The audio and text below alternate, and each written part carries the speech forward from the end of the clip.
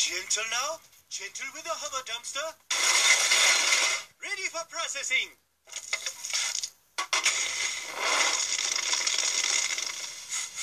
What smells like bloody sinuses? We burn your e-waste down to the usable metals, safely releasing the toxins into our air and drinking water.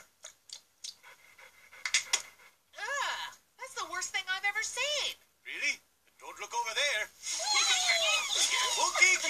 Let's play Find the Shiny.